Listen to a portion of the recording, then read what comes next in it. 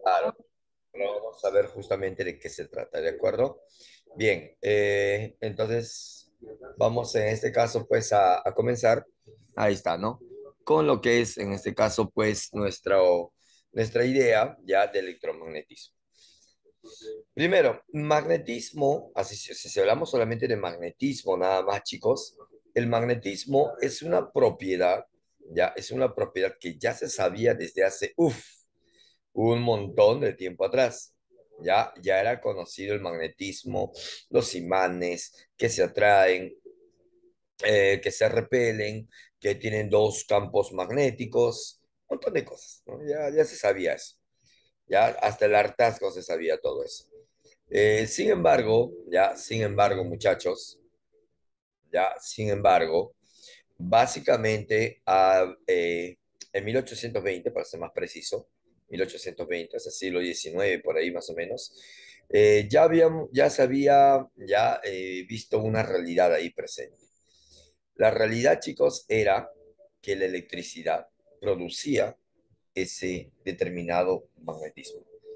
¿Ya? Entonces ahí se ve ese detalle del electromagnetismo en todo su esplendor, ¿no? Entonces, por ejemplo, acá en este pequeño GIF estamos viendo no al magnetismo, imanes y todo eso, no, sino que estamos viendo al electromagnetismo. ¿Está bien? Al electromagnetismo. No es al magnetismo lo que vemos, sino al electromagnetismo, porque como ven, se está relacionando ahí a la corriente eléctrica con algo más.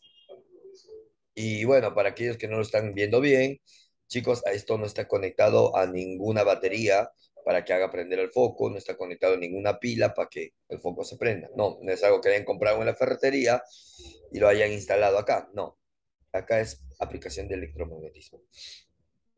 Pero ya vamos a ver con el tiempo ya de qué se trata todo eso. ¿De acuerdo, chicos? Muy bien. Entonces vamos a comenzar con ya la explicación rápida del tema. ¿Ok? ok, muy bien. Ok, chicos. Vamos primero con 1820. En Dinamarca, ya en Dinamarca, en esa zona fría, ¿no? Ahí está, de Dinamarca, al mismo tiempo muy bonita.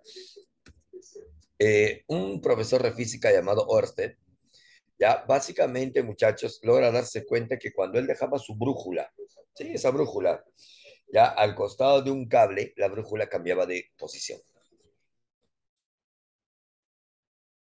Hay que aclarar, ya hay que aclarar, chicos, que cuando ustedes tienen una brújula, ya cuando ustedes tienen en este caso una brújula, la brújula, en este caso, siempre apunta hacia un lado de la Tierra. Todos ustedes saben eso, han llevado clases de geografía. ¿no? Entonces, una brújula en posición normal siempre va a apuntar hacia el lado norte terrestre. Norte terrestre. Eso fue la guía para muchos navegantes, ¿no? La brújula siempre va a apuntar hacia el lado norte. Si ustedes tienen una brújula en este momento o de su celular, ¿no? Ahí está. Eh, abres lo que es la función de la brújula, te vas a dar cuenta que la brújula, pues efectivamente, apunta hacia el lado norte, o sea, hacia el lado de los olivos, hacia el lado de Caraballo, el lado norte, ¿no? Sí, entonces ya más o menos te está indicando de que por ahí tienes que dirigirte para ir al norte. ¿no? Obviamente, ¿no? El otro extremo apunta al sur, bueno, obviamente, ¿no? Eh, pero esa es la idea del magnetismo hasta ese momento. Pero cuando Ørsted, ya, este pata, logra, en este caso, muchachos, pasar una corriente, ¿y qué piña por la corriente? Ya, ahí está, porque al costado se deja una brújula, la brújula cambiaba de posición, tal como ustedes están observando aquí. Observen.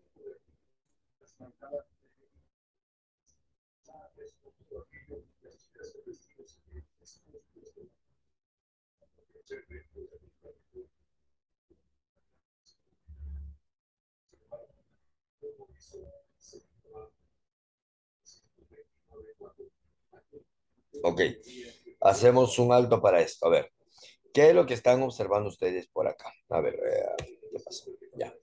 Lo que ustedes están observando por acá, en esta posición, observen la imagen, es la brújula apuntando en su posición normal. esa brújula está apuntando hacia el norte y obviamente el otro extremo hacia el sur. De esta manera. ¿Está bien? Ya, ahí está.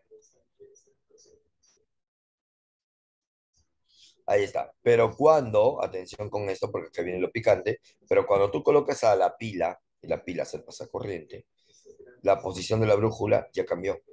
Mira la brújula ahora, observa las flechitas.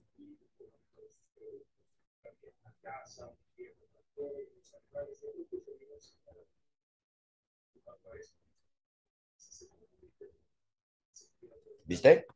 Cambio de posición. Entonces, date cuenta de que pues algo está ocurriendo ahí. Y esto es lo que el pata descubre. Este pata descubre de que cuando le haces pasar corriente al alambre, ya la brújula cambia de posición. La pregunta era por qué. ¿A qué se debía eso? El gran por qué que siempre nos basamos en la ciencia, ¿no? ¿Por qué ocurre esta cosa? Y obviamente la explicación científica radicaba en que el único que podía mover a la brújula, el único que era capaz de desviar la aguja de la brújula, era un campo magnético. Vamos, hay que, hay que darnos cuenta de eso. Si la Tierra, chicos, si la Tierra tiene un campo magnético, digamos que este es el campo magnético de la Tierra. Ya, ahí está. Este es el campo magnético de la Tierra. ¿Ok? Ahí está. Y por ende, la brújula, chicos, apunta en esa dirección. Entonces, para que luego la brújula cambie de dirección, es porque tiene que haber otro campo magnético. O sea, no queda otra.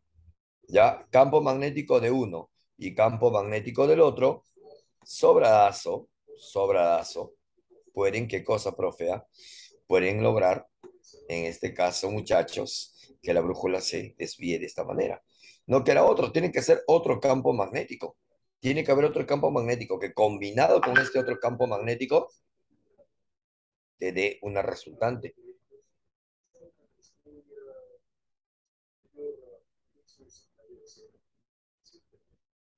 de esa manera. Entonces, se buscó la idea. ¿Qué es lo que está pasando por acá? Tenía que haber otro campo magnético. Y justamente después de algunos experimentos posteriores a este que estás viendo, pues obviamente, muchachos, se dedujo de que sí, había un campo magnético. La pregunta no, las preguntas no culminaban ahí. ¿Y quién ha provocado ese nuevo campo magnético para hacer que la brújula se desvíe? Y obviamente se llega a la conclusión de que ese nuevo campo magnético es por las corrientes eléctricas. Las corrientes eléctricas. Conclusión que hoy en día sabemos, siglo XX, chicos, siglo XXI, perdón. Ya, sigo pensando en el siglo XX. Ya, debe ser, debe ser porque estoy malito. a ver, ya chicos, la conclusión es rápida. Si tú quieres, ya, en este caso, que aparezcan nuevos campos magnéticos, fácil, hazle pasar corriente. Lo último, nada más. Hazle pasar un grado de corriente eléctrica al alambre, al conductor, y créeme que con eso es más que suficiente para que se establezcan o se creen o aparezcan campos magnéticos. Y eso es el nacimiento del electromagnetismo. Electro porque la electricidad se relaciona, por eso ponen a la pila. Y magnetismo, pues obviamente por la, por acción de los campos magnéticos. Así que conclusión, chicos, los campos magnéticos suelen, suelen también ser producidos por campos eléctricos, por electricidad por corriente eléctrica. Ok, muchachos, ya no se vayan a olvidar de eso. Y por ese motivo, ya una vez establecida la relación de por qué Nietzsche se le llama, en este caso, pues electromagnetismo, vamos ahora a ver cómo es el campo magnético que produce una corriente al pasar por un circuito. ¿Cómo es el campo magnético producido por un circuito? Hacemos un breve paréntesis. A ver, lo que pasa es que hasta ese momento, ya, ahí está. Hasta ese momento se sabía cómo era el campo magnético de un imán. ¿Sí? Esos tipos del siglo XIX, todos refinaditos, con su bigote grueso, con su bastón, impecablemente vestidos, y que hablaban con una retórica increíble al momento de hablar entre ellos. Ahí está. Sabían cómo era el campo magnético. Gracias a la Real Sociedad de Londres y muchas otras instituciones de Europa, Praga, la Academia de Ciencias de París, ya se había visto cómo era el campo magnético. Pero este es de un imán. Pero este nuevo campo magnético se preguntaron, ¿y cómo es? ¿Será igual? ¿Será distinto? Y por medio de varias investigaciones más, lograron llegar a una conclusión. Esos campos magnéticos eran completamente diferentes. Al menos en su forma, eran completamente diferentes. Campo magnético que aparece por culpa de una corriente eléctrica. Es así. Circular. Observen, observen. Circular. Ya ves, de esta manera. Circular. Los campos magnéticos creados por corrientes eléctricas. Ahí está. Simplemente, simplemente son circulares. Vayan pensando en eso, por favor. Un ratito, espérame.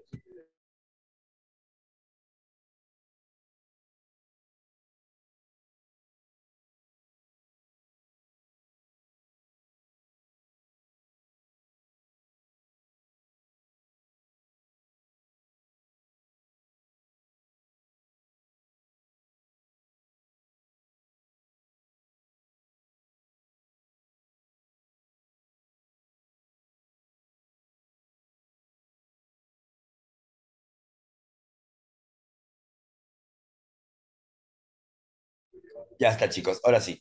Ya, entonces, estos campos magnéticos son circulares. Eso nos llama bastante la atención, porque eso significa de que, muchachos, si este es el alambre, observen la, ima- la imagen del GIF, si este es el alambre, cuando hacemos pasar corriente, ahí va a aparecer los campos magnéticos. Pero esos campos magnéticos serían así, circulares, ¿ve? ¿ves? Circulares. Así son los campos magnéticos creados por los, ya, por las corrientes eléctricas al pasar por un cable. Son circulares. Lo envuelven al pobre cable y lo paran envolviendo así. ¿Sí? Lo paran envolviendo de esa manera. Algo así como, si tú usas pulseras, ustedes señoritas son pulseras, me entenderán a lo que estoy hablando. Esa pulsera envuelve a todo tu antebrazo, ¿no es cierto? Ya, algo así son los campos magnéticos. Entonces, los campos magnéticos tienen esa forma, esa forma muy peculiar que viene a ser una forma completamente circular. ¿Ya? Ahora, ahí es donde aparece una nueva, ya, interrogante. Interrogante, ya que aparece acá es, ese campo magnético que es circular, circular, ¿tendrá sentido? O sea, ¿tendrá un sentido horario o un sentido antihorario? Esa, fue esa es la pregunta ahora.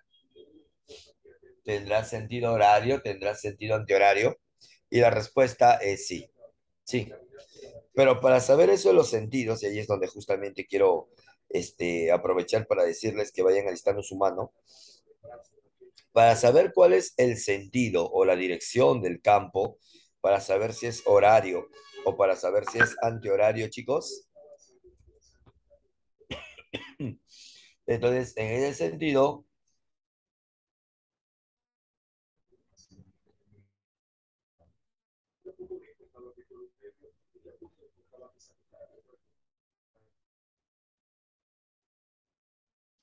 ahí está, ya ves, de esa manera, por lo tanto, ahí tienen que usar la regla de la mano derecha.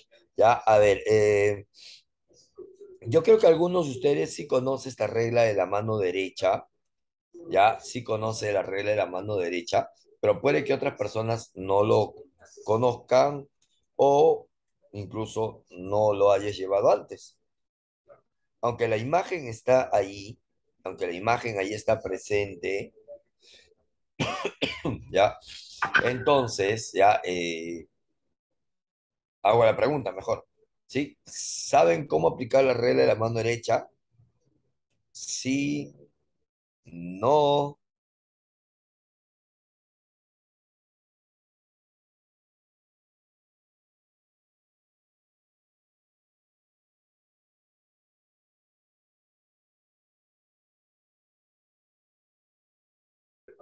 o tú, Emanuel, de llenita. Ah, bacán, bacán, bacán. Chévere, chévere, chévere. Ya, ahí está. Ya, varones, que por ahí están algo callados. ¿Qué pasó, muchachos? Ya muy tarde se han acostado, ya ves.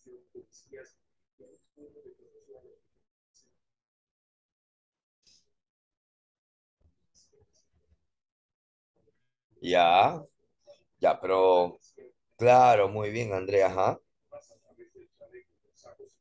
Los dedos para puntualizar lo que me estás diciendo, giras los dedos, no te olvides, giras los dedos. Gi- También, lo que estás redactando, pero gira los dedos. Un ratito, chicos, la chisa, chisa, un ratito.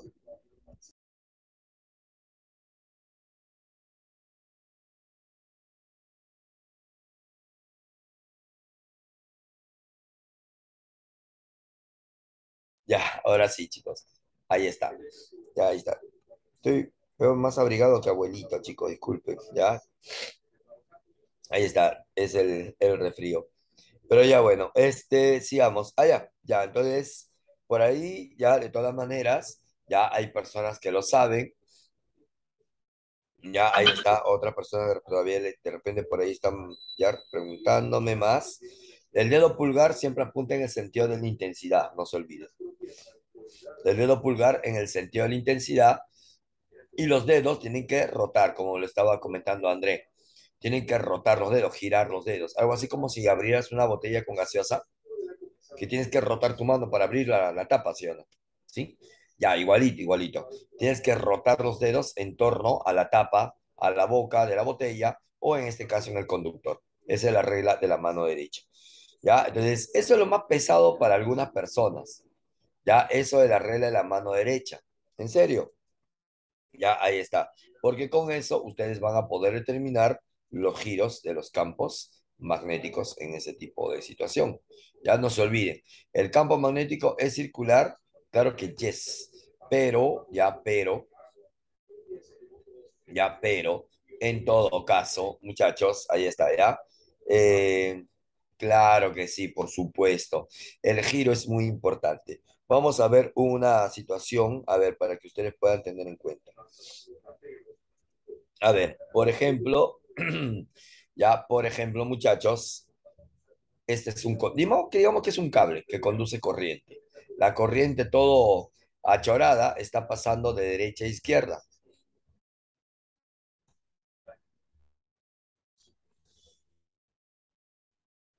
¿Está bien? Ya. Recuerden que los campos magnéticos son circulares, no cuadrados, no rectángulos, son siempre circulares. Y si son siempre circulares, sería pues así. Así serían los campos magnéticos. No, no se ve muy bien. Un ratito, lo cambié el color. Ya, los campos magnéticos son así.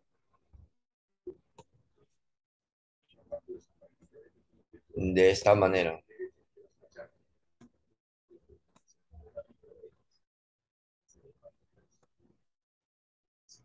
Ahí está. Más o menos así. Es bien lo caso, ¿no? Cómo actúa el campo magnético. Es así, es así, chicos, aunque de repente no me crean, ¿ya? Pero es que es así. Ahora, como la corriente está yendo hacia la derecha, la regla de la mano derecha dice que tu dedito, tu manito, tiene que ponerse en esta posición. Tu dedo pulgar tiene que apuntar en el sentido de la intensidad de corriente. Eso es lo que debe de ocurrir. El dedo pulgar debe apuntar en el sentido de la intensidad de corriente.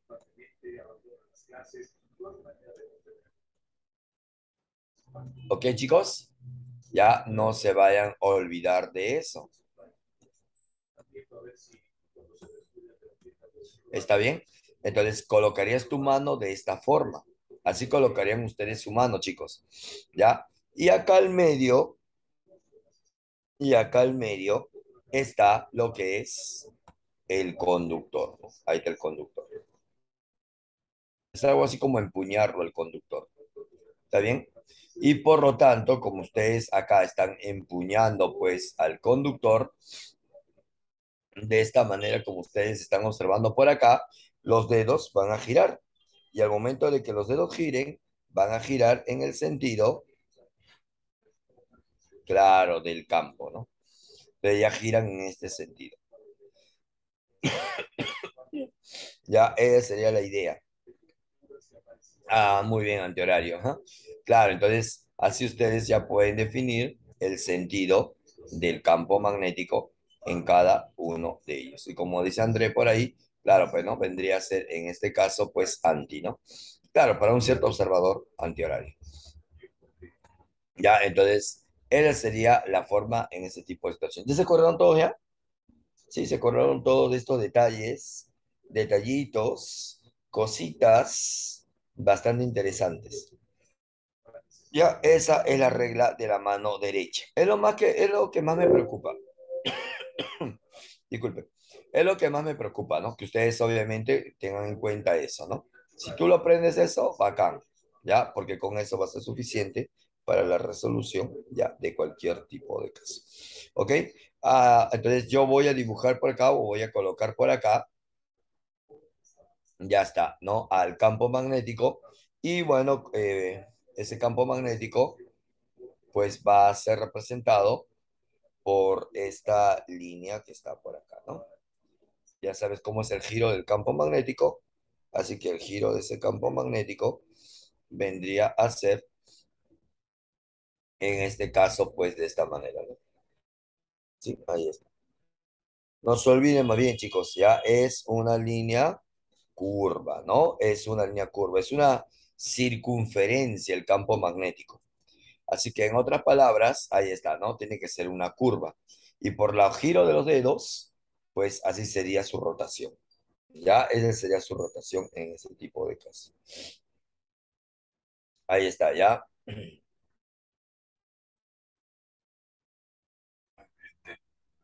Esa sería la forma en ese tipo de caso. Ya, ahí está. Ya, esa sería la situación. Ok, chicos. Ah, más bien este, no se vayan a olvidar. Puntos. Ah, este rollo de los puntos, creo que también ustedes lo recuerdan. Este rollo de los puntos es cuando algo sale. Ya, este detalle de los puntitos, esos puntitos que ven por acá, es cuando sale. Acá lo anoto de todas las maneras.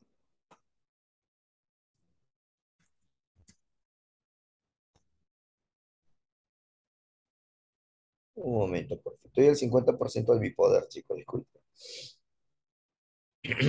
Ya, ahí está. Entonces, este sería saliente, ahí está, ¿no? Por este lado de arriba, el campo es saliente, y por el lado de abajo, el campo, en ese punto donde está tú el, es entrante, ¿no? De esa manera. ¿Ya? Entonces, ahí sería la forma en ese tipo de situación. Ah, eso de entrante, eso de saliente, ¿no? Más que nada es, es como una especie de símbolos que te indica cómo está actuando ese campo magnético, ¿no? De esa manera.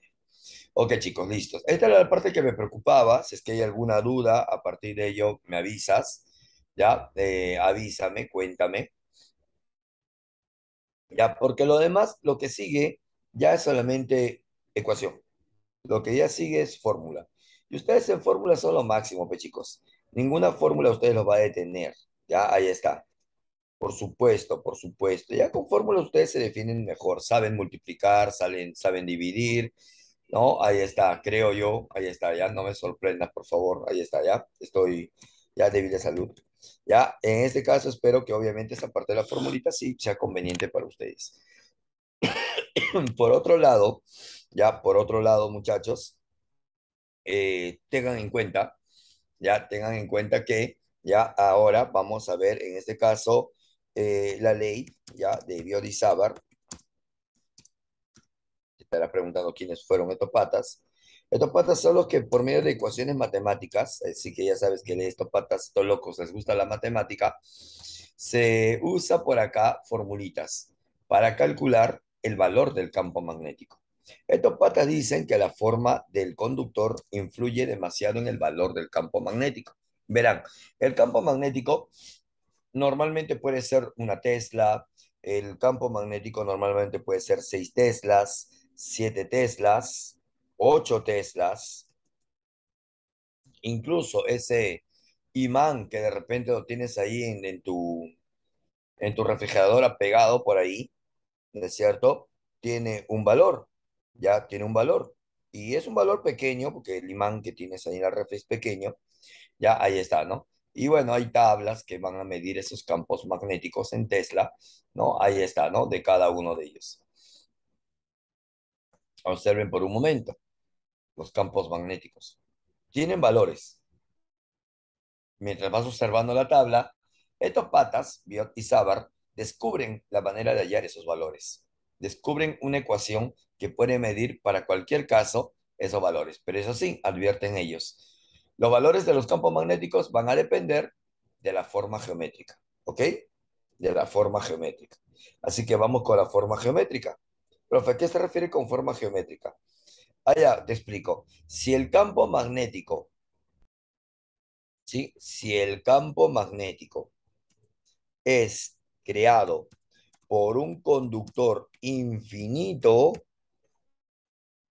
hay un valor por ser justamente un cable infinito. ¿Me entiendes la idea? Justamente por ser un cable infinito. Profe, ¿y si el cable o el alambre no es infinito? Hay otra manera. Y ya no es esta. Esto es solamente para un cable o para un conductor de tipo infinito. ¿Ya? Ahí está. Así que el problema te va a decir, tenemos a los cables infinitos. Y por lo tanto, muchachos, ustedes al toque van a aplicar, ¿qué cosa? Van a aplicar la propiedad. De esta manera. Y la propiedad sería de la siguiente forma. A ver un ratito. Ya, la propiedad sería entonces de la siguiente manera, ¿ya? Si este de acá es un cable infinito, o sea, se extiende el infinito, no se conoce sus extremos, es demasiado grande, un ratito chicos, achú.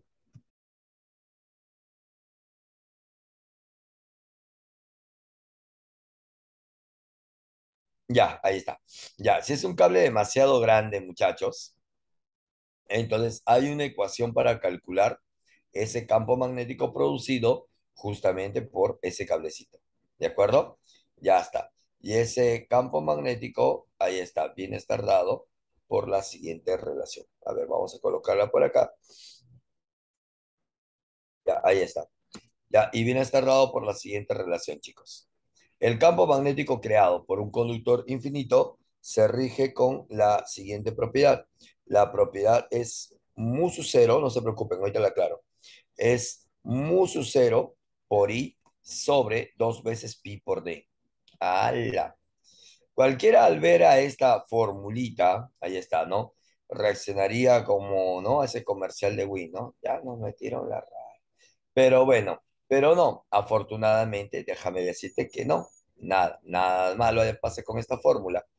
Esta fórmula, ya, esta fórmula, chicos, es una fórmula como cualquier otra. Claro que, que significa algo cada cosita que está por acá. Pero obviamente también, como es normal, vamos a aclarar.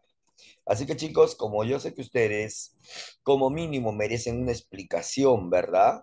¿Sí? Te mereces como mínimo una explicación. Así que vamos con la explicación, ya ahí está, de cada uno de ellos. Rápidamente nomás. Sí, rápidamente nomás, chicos. ¿Qué es la letra I? Sí, eso va para ti. Todas ya lo más evidente. Esa letra I.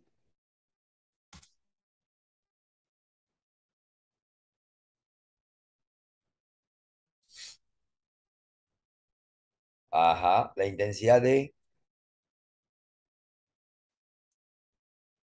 ¿Está bien, está lo que me está diciendo?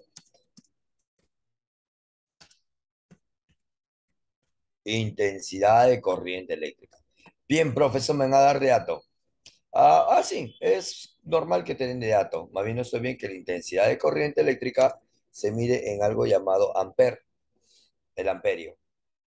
Ajá, la corriente, claro, esa es la corriente. Te van a dar de no te preocupes. Tú alégrate, por favor, sonríe, sonríe.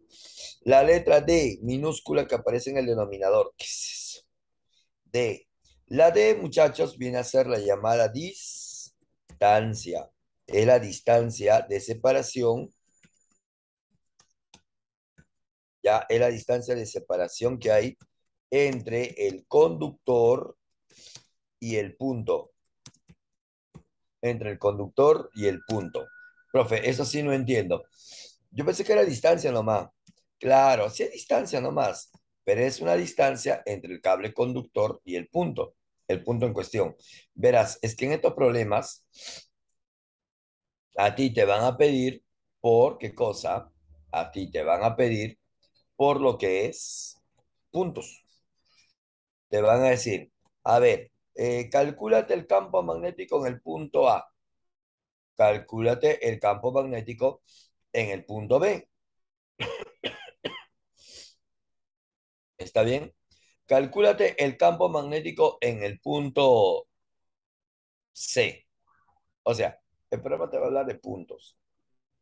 Y es por eso que como el problema te va a hablar de puntos, tú tienes que ver la distancia de separación que hay del cable conductor al punto. Así que esa es la idea en ese tipo de situación.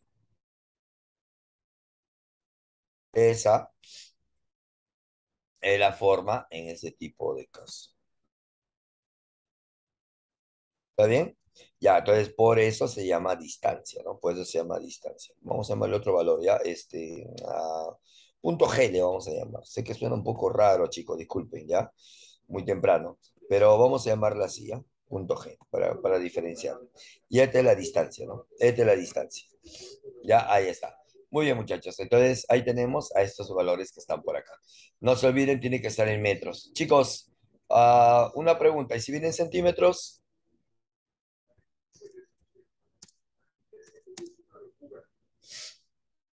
Si vienen centímetros,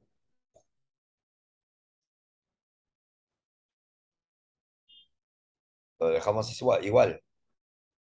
No, querido amigo, no.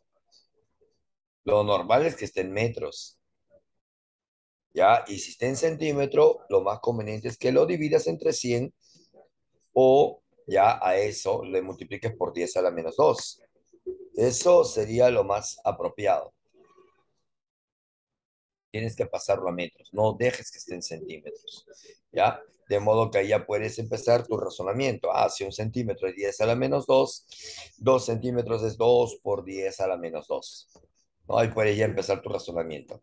Ah, ya, 3 centímetros. Ah, ya, 3 por 10 a la menos 2. ¿Ves? Claro. Entonces ya esa parte ya es puro razonamiento, ¿no? Pero bueno, hacia la forma de cómo se establece ese detalle. Pero creo que el que se roba todo el show, chicos, y tu atención es él. Él, o sea, el valor de musu cero. ¿No es cierto, chicos? El valor de musu cero. Musu cero, que están viendo ustedes por acá, ¿no? Este musu cero que ustedes están observando por acá, es un valor de una constante. A esto se le conoce con el nombre de la llamada permeabilidad magnética. ¿Sí? A ese se le conoce así. Ya, la permeabilidad magnética. ¿Ya? ¿Y eso cuánto vale? Ahí está la gran pregunta. La permeabilidad magnética, chicos, tiene un valor conocido. viene a ser igual, ya viene a ser igual a cuatro veces pi, el número pi, ¿sí? El pi, el pi, ya cuatro veces el número pi por 10 elevado, ahí está, ¿no? Por 10 elevado a la menos 2, o pero menos 7. Ahí tiene, chicos, un poco. Ya, ahí está. 7, ahí está. Tesla por metro sobre amper.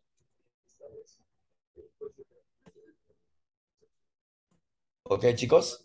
Ya, esa es, eh, ese es el valor del musu cero.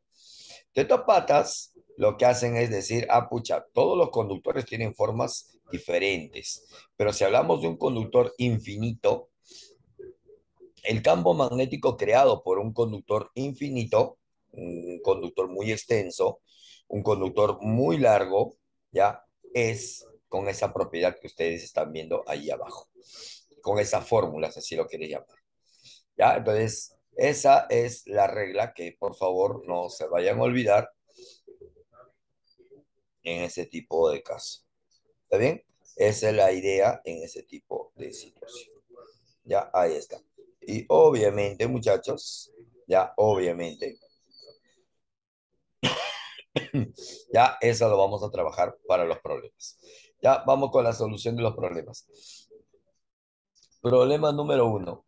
En el caso del problema número uno dice del gráfico, si el conductor es de gran longitud, determine el módulo de la inducción magnética en M. ¿Ya? Y luego te los valores de B, que por cierto son los campos magnéticos. La letra B, ya, eso me faltó ponerlo, ya, esa letra B que aparece acá abajo es la notación del campo magnético.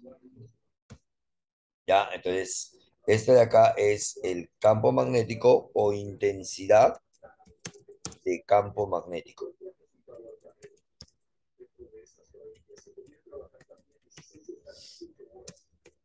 Aunque también se le conoce con el nombre de inducción magnética. ¿Está bien, chicos? Inducción magnética también se llama. Y esto se mide en Tesla.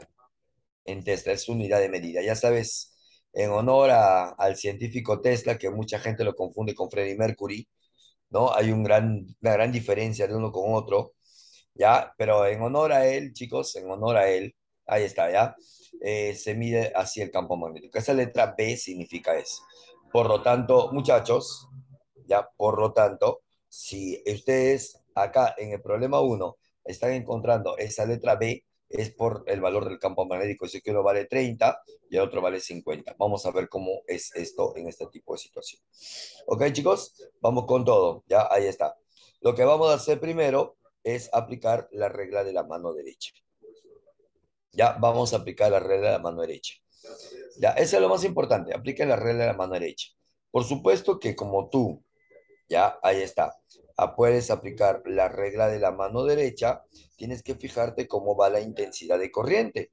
Y ustedes, chicos, que nadie los engaña, ya se han dado cuenta que las intensidades de corriente van para arriba. Y como van para arriba, ya pues, la posición de tu mano tendría que ser así. ¿Está bien, chicos? Un ratito, por favor.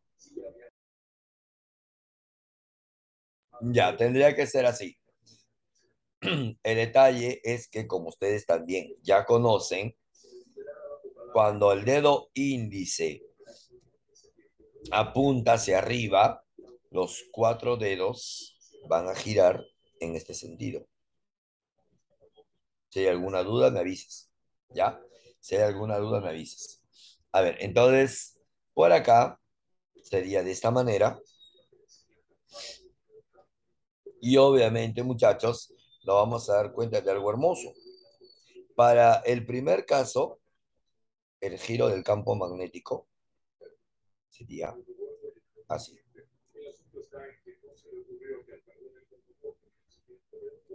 ¿Está bien, muchachos? Sería así. Como ustedes ya lo habrán notado, el giro del campo magnético sería así y al ser así, estaría entrando al punto M. Claro, recuerda que el campo magnético es circular, espero que no lo hayan olvidado. El campo magnético es circular. Y como es circular, pues tiene que tener esta forma, papá, en torno al conductor.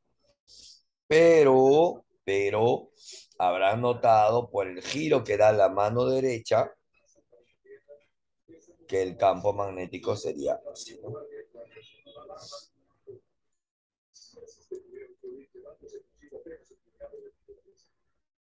De esta manera. Conclusión. Uno es entrante al punto M. ¿Sí? Uno de ellos es entrante al punto M de mamá.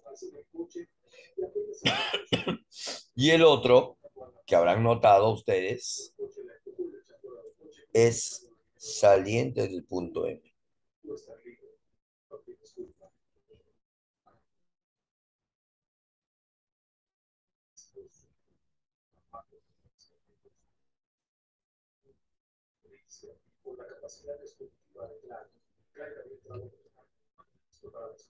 ¿Está bien, muchachos? Ya de esa manera.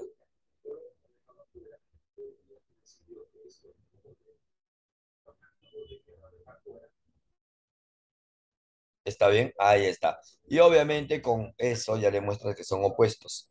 Son opuestos, uno de ellos es entrante, el otro saliente, y es por eso que es obvio que como son opuestos, chicos, se van a restar. se restan son opuestos, se restan y vas a restar los valores que el problema te daba, ¿no?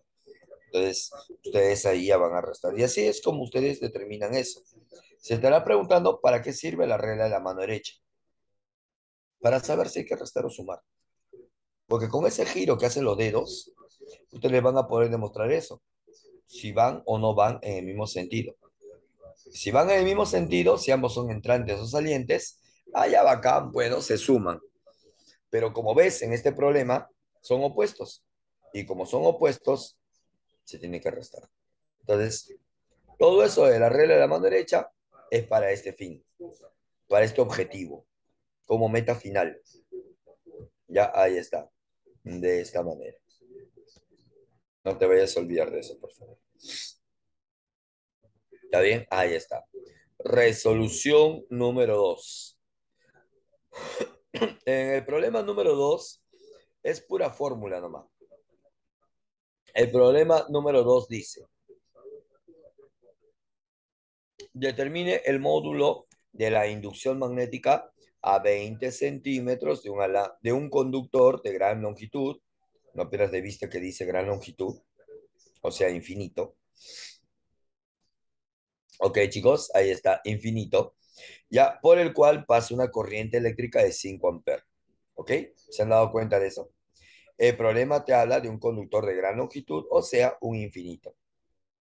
Ah, ya, profe. O sea, el problema tiene que decir, ah, sí, pero campeón, en el mejor de los casos, aún si no lo dijera, puedes asumirlo como infinito. Ya, es el más sencillo de todos. Así que vamos por acá, ahí está el infinito. Y lo ponemos. Un ratito. Musu 0 por i sobre 2pi por d. Pero ese musu 0 ya saben cuánto es. En este caso, ya 4pi por 10 a la menos 7. 4pi por 10 a la menos 7. Luego seguiría la intensidad de corriente, que es 5 amperios. De esa manera. Y la distancia es lo que el problema te da. Dice 20 centímetros pero ya saben que no debes de colocar 20 nomás. Ya, por si acaso, no vayas a colocar 20 nomás. Tienes que ponerle en metros. Y en metros, 20 centímetros es 20 eh, por 10 a la menos 2. Ok, chicos, lo demás es operable. Lo demás ya es álgebra, tu curso favorito. ya y por lo tanto tú pues ya, ya lo terminas de operar, ¿no? Ahí está, ¿no? Y obviamente no es complicado para, bueno, para nadie, ¿no? Te vas a demorar de repente unos segundos, pero lo vas a sacar, pues, de todas maneras. Claro, el pipí, algunos le han echado el ojo al pipí, o sea, claro, este pipí tiene que cancelarse. De hecho que sí. El orden de los factores no altera el producto, el 5 que está atrás puede, va, va a pasar adelante a multiplicar a 4. Y cuando el 5 pase a multiplicar el 4 sería 20. ¿O no, gente? ¿No es cierto? 20. Sería de esta manera. ¿Está bien? Por otro motivo, 20 también se cancela. Ahí está. Y obviamente, muchachos, al momento de que ustedes operen a esos valores, ya te va a salir la clave. Para no hacer la larga, 5 por 10 a la menos 6, ¿no? 5 por 10 a la menos 6. Ya, de esa forma. ¿Está bien? Lo tomas en cuenta de esa manera. Ahí está. En este caso sería Tesla. y esta es la menos 6. Ya. Por lo tanto, eso es algo así como 5 microtesla, ¿no?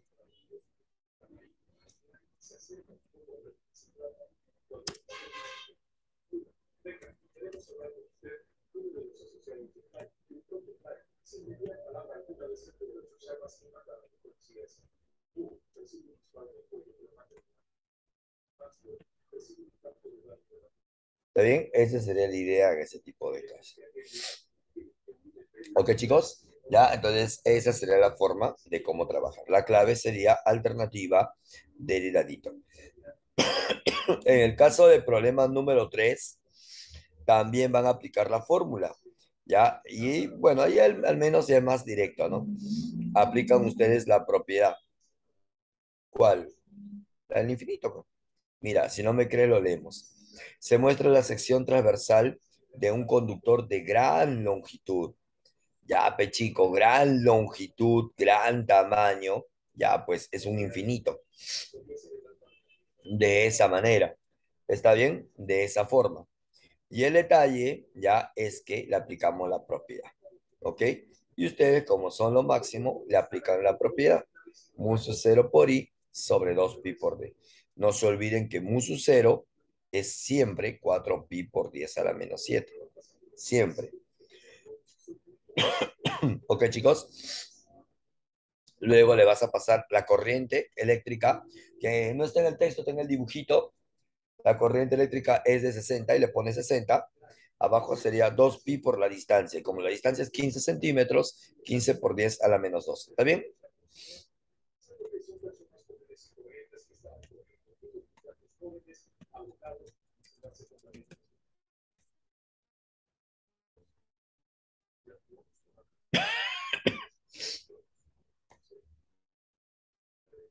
Ok, ya está. Y bueno, este, pi, pi, se cancela. ¿Está bien? Eh, 2 por 15, 30, que lo puedes simplificar con el 60 de arriba, ¿sí o no? ¿Ya ves?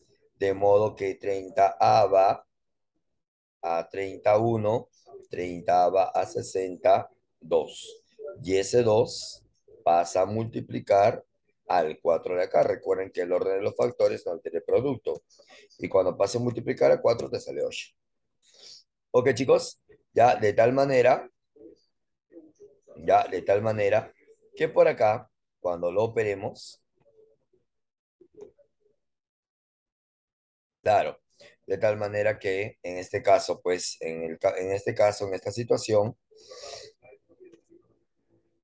claro, sería entonces reemplazando de la siguiente manera. A ver, finalmente, ya acá, ustedes lo que harían ya sería operar.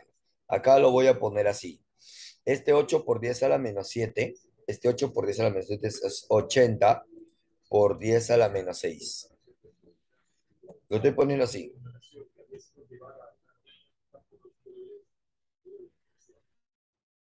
¿Está bien? Ahí está de esta manera. Y el hecho es que si le pongo por 80 por 10 a la menos 6, no, ahí está. Eh, espérate un ratito, espérate un ratito, un ratito. No, 80 por 10 a la menos 8, se lo disculpe. Lapsus, lapsus. Ya, ahí está. Ya, entonces lo estoy acomodando de esa manera. Al de arriba, al de arriba. Solo al, numer al numerador nomás. Estoy que le acomodo de esa manera.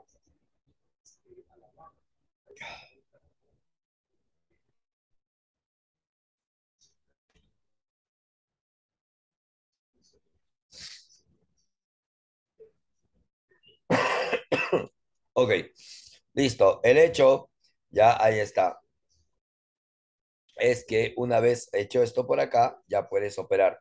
Porque esto que ves que es 80 por 10 a la menos 8, cuando se opere con el 10 a la menos 2, te va a quedar en este caso 80 por 10 a la menos 6. Y todos sabemos que 80 por 10 a la menos 6, el menos 6, el menos 6 es micro. ¿Ya? Entonces, el menos 6 es micro. Y obviamente, muchachos,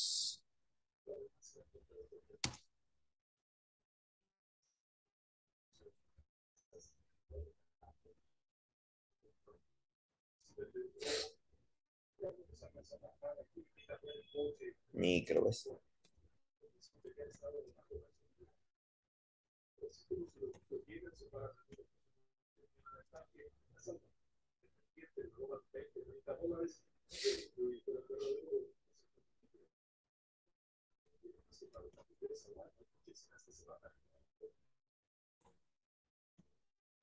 De esa manera. Ok, muchachos. No lo olviden. En el caso del cuarto problema, ya para, para poder en este caso comenzar con su temático, ya ahí está. Dice, el sistema de conductores de gran longitud determine el módulo y la dirección de la eh, inducción magnética resultante en P. Se parece al problema anterior, ¿no? Es bastante parecido al problema 1, creo que era, me parece. Bastante idéntico. Incluso las posiciones de la mano no cambian.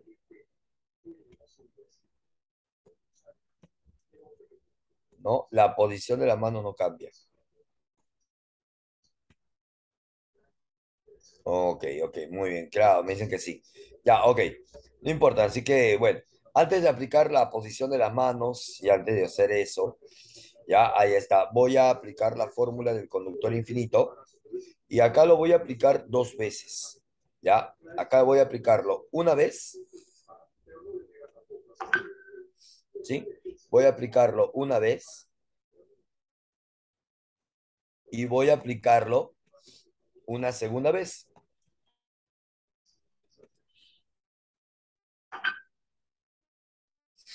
¿Ya ves? De esta manera.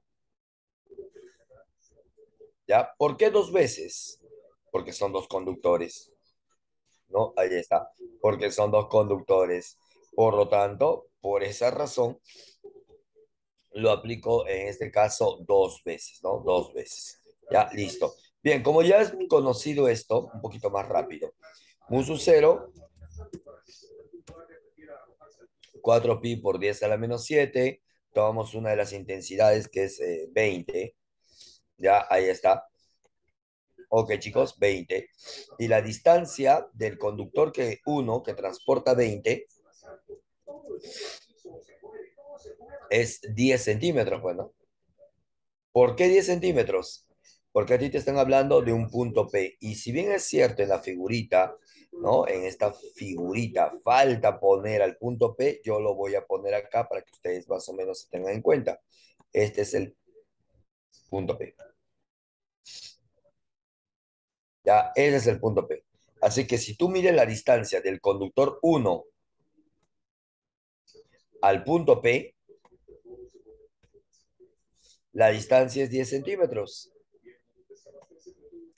O sea, 10 por 10 a la menos 2.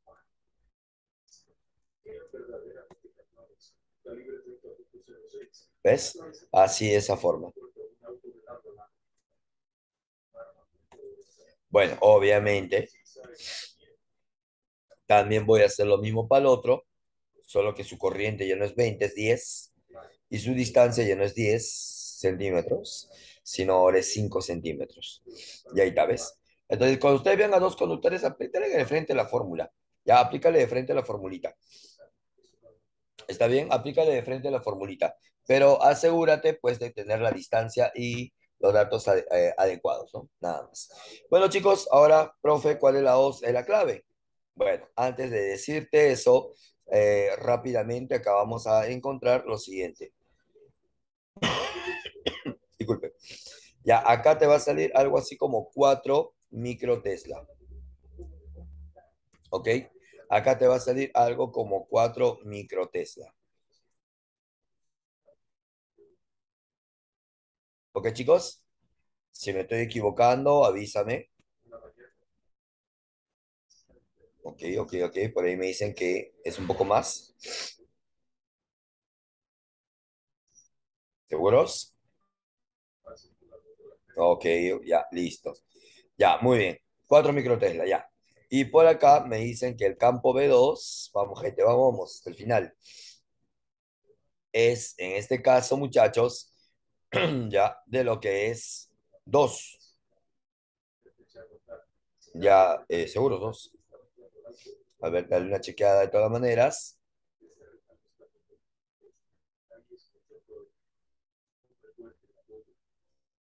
Ya. También es 4. Ya, también es 4, ya. Ok, muy bien. Profe, ¿y cuál es la clave? Gracias, gracias, chicas, gracias, gracias, chicas. Gracias, señoritas. ya. ¿Cuál de los dos es la clave? Bueno, la clave de ellos va a ser la suma. Tú te preguntarás, ¿pero por qué la suma? Bueno, es que para saber ese rollo ya de la, de la dirección y saber si hay que sumarlos o hay que restarlos, ahí tienen que usar la regla de la mano derecha, pues, chicos. Ahí ustedes, ah, ahí ustedes tienen que usar la regla de la mano derecha. Como las corrientes van para arriba, es así, ¿no?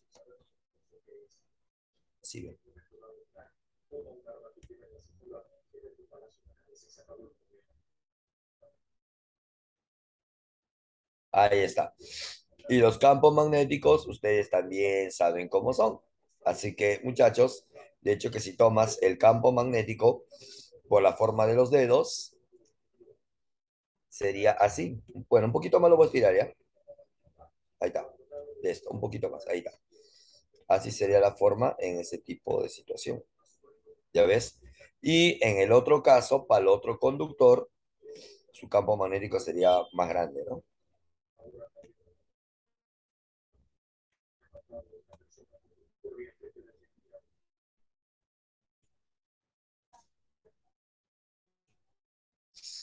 Ya ves, de esta manera.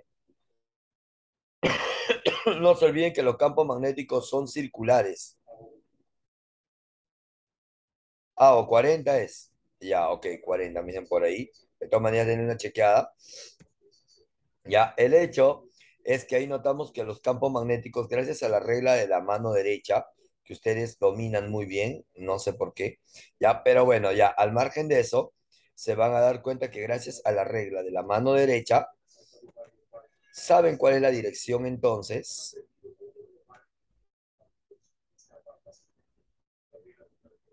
Claro, saben cómo tomar en este caso la dirección. Y bueno, rápidamente, ya rápidamente. Claro, claro, muy bien. Ya es darse cuenta acerca ahora de lo que es la flecha.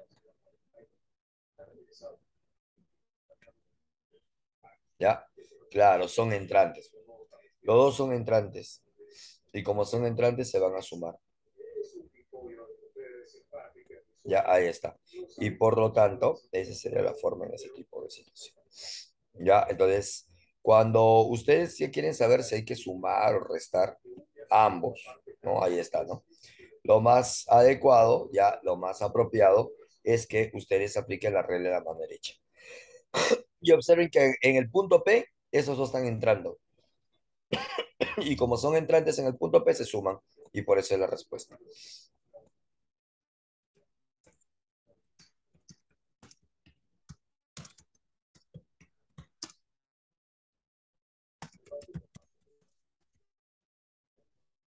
Y bueno, esa sería la respuesta. Tu clave por eso sería 80. Y bueno, esa es la solución del problema. ¿Ya? Ahí está. Así que ya, en el temático va a venir algo mucho más simple. Ya está, ya. Pero de todas maneras, no está de más, ya, que ustedes de repente por ahí pregunten, ¿no? Que de todas maneras estén, en este caso, pues, eh, siempre teniendo en la mano esta regla, ¿no? Una de las cosas que me llama la atención del electromagnetismo, por ejemplo, es que no solamente se usa fórmula, como habrás visto, no solo es fórmula. Profe, con fórmula es fácil la cosa, claro, con fórmula es fácil la cosa, nomás, ¿no? Pura fórmula y ya está. Pero este temita se caracteriza ¿por qué? Este temita se caracteriza porque tiene dirección, tienes que usar la regla en la mano. Y eso hace, ya, y eso hace que de repente para muchas personas sea pues algo tedioso. Bueno, obviamente no tiene por qué hacerlo, pero bueno. Ya, así que muchachos, ya, eh, si tienen alguna duda o consulta sobre esto, es un buen momento para hacérmela llegar.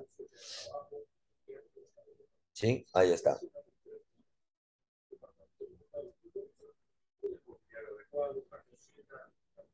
¿Alguna duda hasta ahí, muchachos?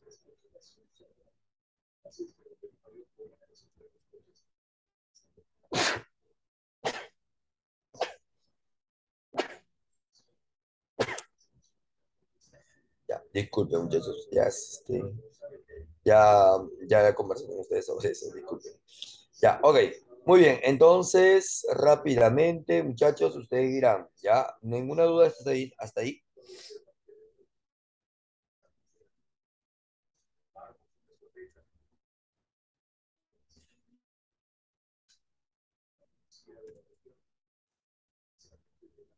Ok, ok, muy bien.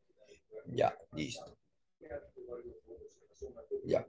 Muy bien, a ver, entonces, como no hay ningún tipo de duda, creo, en este tipo de, de casos, ya vamos a ir a lo que es la parte del temático. ¿De acuerdo, chicos? Ya, la parte del temático. Y bueno, pues, ¿no?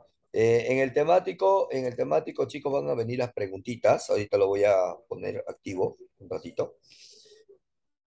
¿Ya? Pero en todo caso, siempre use la formulita. No creo que te, te he venido solo una pregunta con regla de mano derecha, ¿ya? Pero lo demás sí son con puras formulitas, ¿ya? Así que ya saben, les deseo lo mejor, ¿ya? Si tienen alguna duda, me avisan. Vamos a empezar justamente con la resolución del temático, ¿ya? Así que muchachos, si dan clic al intranet, al vigésimo temático de física, ya ahí está. Lo comenzamos entonces rápidamente.